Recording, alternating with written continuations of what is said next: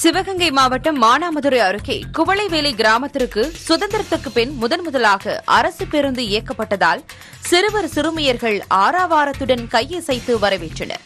மானாமதுரை அருகே குவளைவேலி கிராமத்தில் ஆயிரத்திற்கும் மேற்பட்டோர் வசிக்கின்றனர்.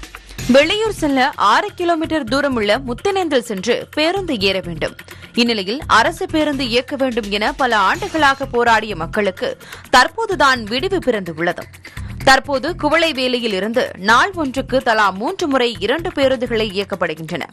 குவளை குவளைவேலியிலிருந்து மானாமுதுரை மற்றும் பழையனூர் ஆகிய இரு கிராமங்களுக்கு பேருந்து போக்குவரத்தை சட்டமன்ற உறுப்பினர் தமிழரசி தொடங்கி வைத்தார். புதிதாக வந்த அரசு பேருந்துகளை சிறுவர் சிறுமியர் ஆறாவாரத்துடன் கையசைத்து வரவேற்றனர். முன்னாடி வந்து எங்க ஊர்ல ரொம்ப நாற்பது வருஷமா எங்களுக்கு கவர்மெண்ட் பஸ்ஸே இல்லை. அதனால் மக்கள் வந்து வெளியே போகிறதுக்கு காலேஜ் பசங்களுக்கு காலேஜ் போகிறதுக்கு ஸ்கூல் பசங்களுக்கு ஸ்கூல் ஸ்கூல் பஸ் போகிறதுக்கு ரொம்ப சிரமமாக இருந்துச்சு. போஸ் நாங்கள் வெளியூருக்கு போகணுண்டா பட்சத்தில் நாங்கள் வந்து பக்கத்தில் உள்ள கட்டிக்குளத்துக்கு போய் அங்கேருந்து ஆட்டோ மாறி முத்தரந்த போய் தான் போய்க்கிட்டு இருந்தோம்.